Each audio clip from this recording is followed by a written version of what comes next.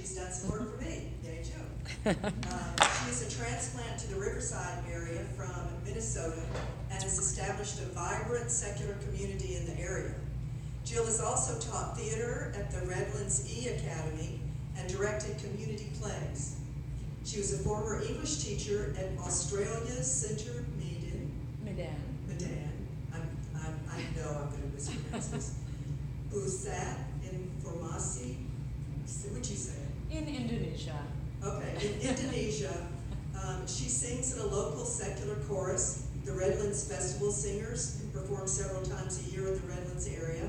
She's a mom of two, and she stays quite busy. So please, please welcome Jill to, uh, uh, to IEAA.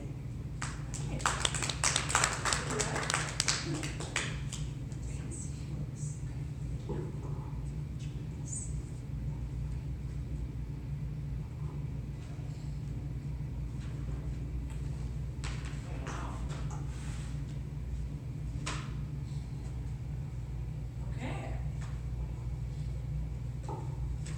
So, bear with me because this story has a happy ending, okay? So, the little town that I grew up in, in the Midwest, both screwed me up and saved me. It screwed me up because it was too small. It was too conservative. It was all white and pure Christian a mixture of Catholics and Lutherans. But then it saved me because when I turned 18 and graduated high school, my tiny town, without a college or any real jobs, provided me with no other option but to leave. So leaving enabled me countless adventures I'm convinced I never would have had had I stayed put post high school.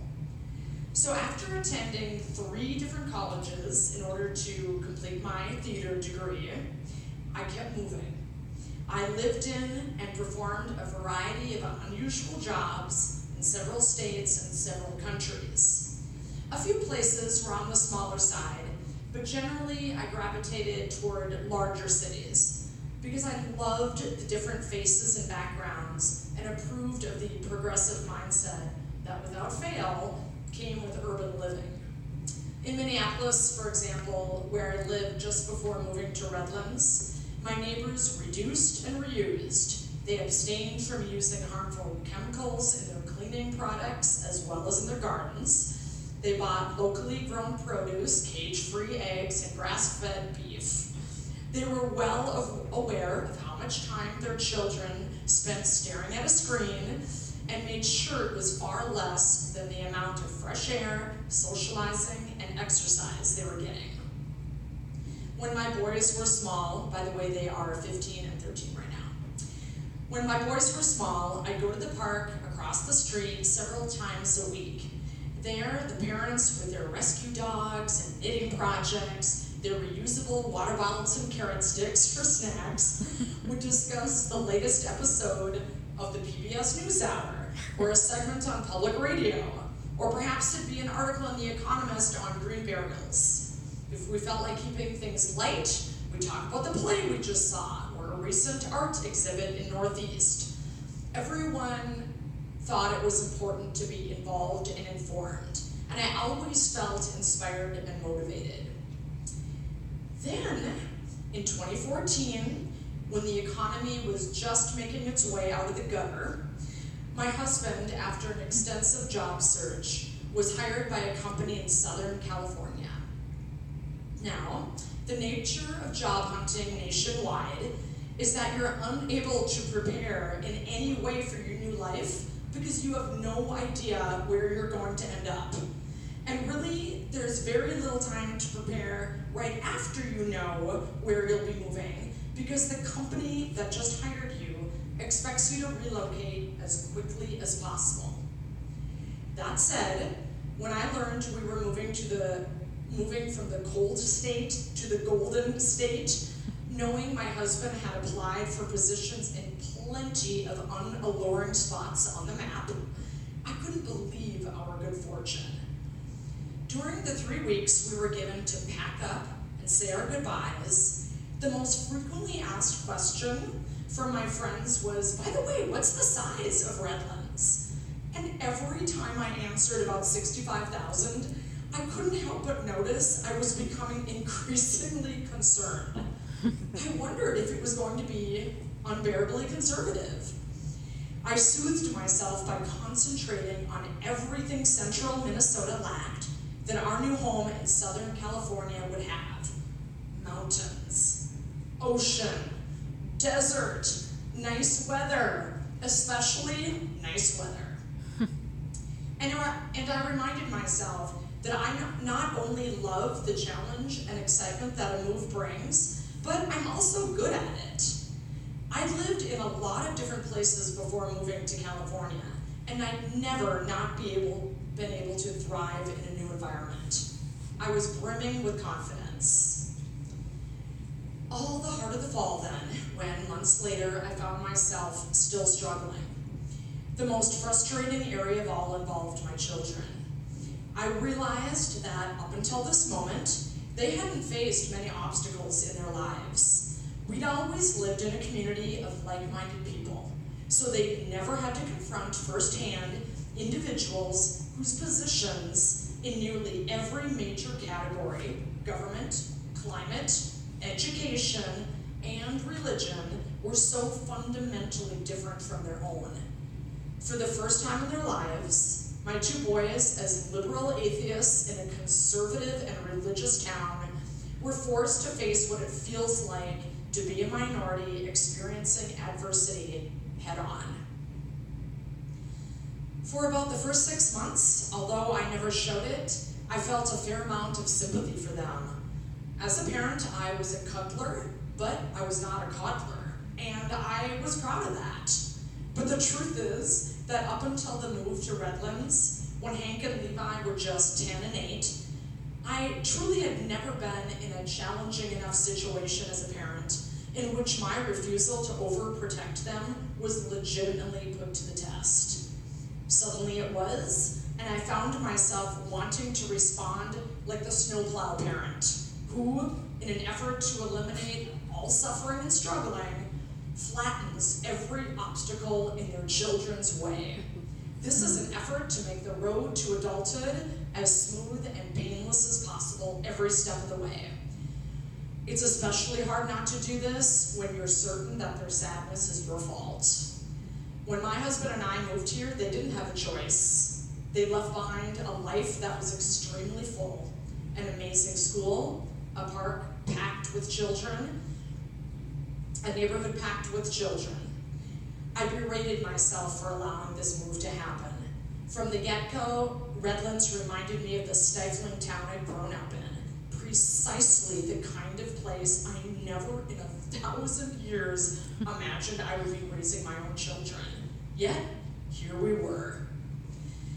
So, funnily enough, out of all the different types of people in the world that I have always found annoying, those who gripe about the place they live and the people who reside there, to me, are some of the most annoying and pitiful individuals around. And the last thing I wanted was to be that kind of a person. I was determined to find a way to be happy and deduced that the first step in coming up with a solution was to set aside the more petty reasons why I didn't like Redlands. The fact that it has a beautiful but tiny library that there's only one coffee shop in town I can even halfway describe as hip, that the airport, the closest airport is 45 minutes away, and that there's so few community theaters. But I had to set those aside in order to uncover the true source of my dissatisfaction. And when I did that, I discovered that really what was wrong was that my boys and I were terribly lonely. The perfect weather, the gorgeous landscape, the safety of the town, the politeness of folks. None of that means anything if you feel utterly disconnected from your community, for isolation is a killer. So now that I had gotten to the root of the problem, I felt I could fix it. Problem solving was something I'd always felt pretty confident about. So I focused, because I'm a mom, on my kids' loneliness first. Because we'd only moved two months before the end of the school year, my plan was to see if I could connect with a few parents before summer so that our children could play together during the eight week break. Their school in Minneapolis provided a directory which consists of every student's name, along with their parent's name, physical address, email, and phone number. And of course, it wasn't mandatory mandatory to submit this information, but I actually never knew of a single parent who didn't because it was such a slick way of connecting to the other parents and then their kids. But unfortunately, their new school did not have a directory. So instead, I found myself writing notes to the parents of whoever my kids expressed even a mild interest in. I introduced myself as Hank and Levi's mom. I began each short letter by mentioning that our kids seemed to hit it off with their kids and that I'd love for them to get together outside of school. I offered to pick them up and bring them home, and I included my name, email, and address. I was desperate to make a connection. And that's why I made these playdates as easy for the other parents as possible. I put the notes in envelopes, I gave them to Hank and Levi, who handed them to the kids that they liked, who hopefully delivered the note to their parents. Let's just say it didn't work. I tried showing up early, before and after school, so that I could meet some parents face to face. I'd ask my boys to point out which kid they were having fun with, and then I'd follow that kid so that I could say hi to the mom or dad. Just say, Hi, my name's Jill. My kids seem to be hitting it off. The same things I wrote in the notes. But none of the parents were interested in adding more people to their lives. They weren't mean about it, but every one of them said no thank you. So I asked my boys to ask their classmates what they usually do on the weekends. And the answer was overwhelmingly that they went to church and spent time with relatives. I tried more things a soccer team, swim club, but every time the situation was the same. My kids found the other kids dull. I mean, not ever mean, but just kind of dull. And at this point, my older child just told me to stop trying. my desire for him and his brother to make friends as dynamic as the ones they had back home was starting to feel like pressure on them. So, although it wasn't my nature, I took a break from the boys, took solace in the fact that they at least had each other, and decided to focus on myself. I thought that if I could just get lucky, if I could just somehow bump into one person whose life wasn't entirely wrapped up in Jesus, it would be the break I needed in, insofar as ending this too, too quiet existence that I was living. I fantasized about how it would go. By some miracle, we'd recognize that the other person didn't worship a God either. We'd decide that this connection alone was enough for us to like each other. Next, he or she would introduce me to their God free friends, and on and on until my life was bursting with informed and enlightened people, some of whom would surely have kids of their own for my kids to play with. But almost a year went by, and nothing even remotely similar to this scenario happened. The people I did say hello to couldn't wait to tell me about their life that revolved around their church. Their church was what gave them and their lives meaning and purpose. The members of the congregation were their friends, their community, their social life. And for me, this was just too bland. There was a plainness to these religious folks that I just couldn't pretend didn't bore me. And it was impossible, therefore, to justify putting any more energy into these friendships, no matter how lonely I still was. I hated how much I hated this town. I hated knowing that there had to be cultiv- cultivated and complicated people nearby, but having no idea how to find them. I tried hard to feel grateful instead of miserable. I should have been celebrating the purchase of our first home and my husband's flashy new job that he loved. But Just like the glorious weather and the stunning landscape, a big house and impressive job also don't mean a thing if mostly what you feel isn't like an alien. Life hobbled on. Then, one night, after everyone was asleep, it dawned on me to see if Google could help. Even though I had no idea where to start, I remember Googling things like liberals in Redlands, secular choirs in Redlands, which at the time there wasn't one. I Googled anything that I thought could possibly hook me up with people who I could have complex conversations with on a variety of topics. I can't remember what other subjects uh, I typed in. I typed in, but I do remember that these searches really didn't yield anything for me. So I once again fell flat. Finally, in desperation, and honestly, more or less to amuse myself, I Googled atheists in Redlands. And to my amazement, up popped something I'd never heard of called the Inland Empire Atheist and Agnostic Meetup Group. It was like midnight at this point. what is this? Not only had I never heard of Meetup, I also did not know there was any such thing as an organized atheist and agnostic community. This was a watershed moment for me. The break I was looking for. I even have goosebumps now. so I went to bed that night feeling a glimmer of hope for the first time since I moved to Redlands. It was a real it was a real sense that my life in this small conservative and conservative and religious town was finally taking a turn for the better. So now it may surprise you that I had no idea that an atheist community existed, but the fact is, before moving to, to Redlands, my atheism felt as inconsequential to my life as the fact that I'm left handed. When I left home for college at the age of 18 in 1987, my belief in God, strictly imposed on me by my Catholic parents while growing up, quickly vanished, almost imperceptibly, without an ounce of drama. I felt near I felt neither relief nor sadness. Basically, with no one forcing religion on me, I dropped it and never once reconsidered my choice. My guess is that God had stopped feeling true for quite some time.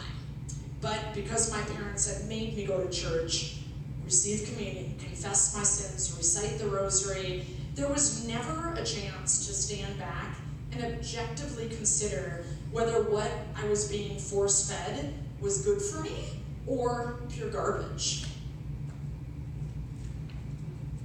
And because as a grown up, I'd always lived in large cities, like I mentioned before, God was seldom front and center.